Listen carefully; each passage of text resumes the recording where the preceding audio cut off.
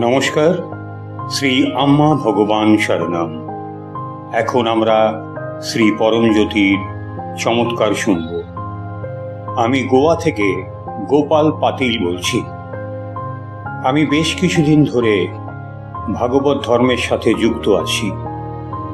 প্রাথমিকভাবে আমার মনোযোগ শুধুমাত্র সেবার উপর ছিল এবং সম্পদ সৃষ্টিতে বেশি ছিল না।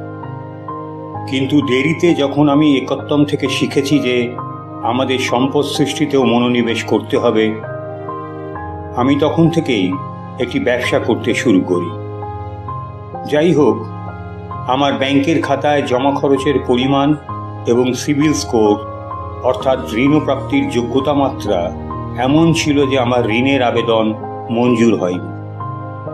এরপর আমি যখন সহস্রনাম ভবনে যাই তখন কলকি আঙ্কার সময় আমি আমার দীর্ঘমেয়াদী লক্ষ্য সম্পর্কে ব্যাখ্যা করেছিলাম। পরিবর্তে আমাকে স্বল্পমেয়াদী লক্ষ্য পূরণের জন্য প্রার্থনা করতে বলা হয়েছিল।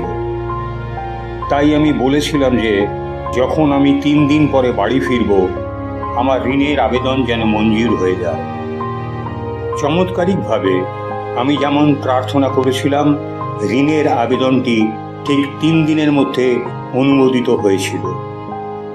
শ্রী পরমজ্যোতির কৃপায় আমি ভ্রমণ শিল্পে একটি ব্যবসায় প্রতিষ্ঠা লাভ করতে পেরেছি। জয় বলো ঐশ্বর্য প্রদাতা শ্রী পরমজ্যোতির জয়।